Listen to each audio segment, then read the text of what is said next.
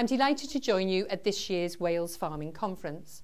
Unfortunately, we cannot get together in person as in previous years, but this doesn't deflect from my commitment to ensuring you and the generations to follow are prosperous, efficient, resilient and sustainable.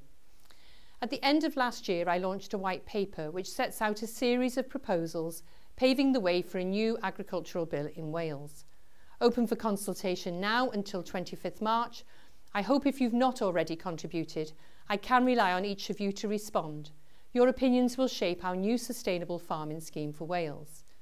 Before Christmas, I announced the BPS will continue until 2022, as we face this unprecedented period of change, I hope it reduces some of the immediate pressures on the industry by providing financial security while you prepare your business for a future outside the European Union.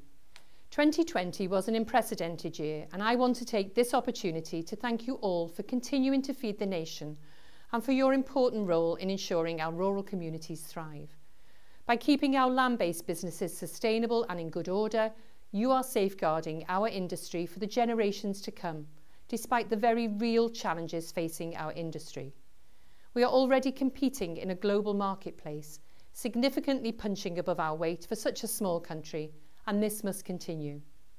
There's no denying 2020 was a year that took its toll on us all. We all learned what we needed to do to stay safe.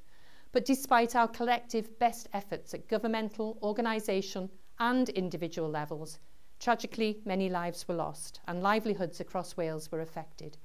COVID wrought devastation not just in Wales or the UK, but across the world. Health and well-being will be tested again as our industry prepares for the uncertainties of different trading conditions as we operate outside the EU.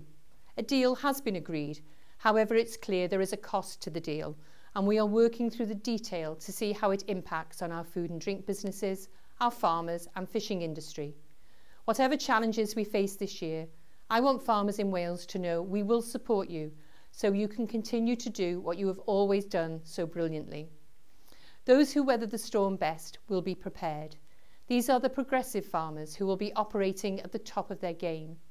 Many will have tapped into the business advice and technical support available through Farming Connect in order to ensure their businesses are as efficient, resilient and profitable as they can possibly be.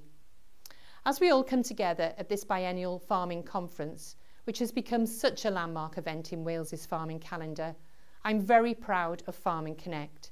I'm proud this important flagship programme, the envy of many other countries, has continued to deliver services, events, training and all that is synonymous with ensuring that Welsh farm and forestry businesses perform at their very best.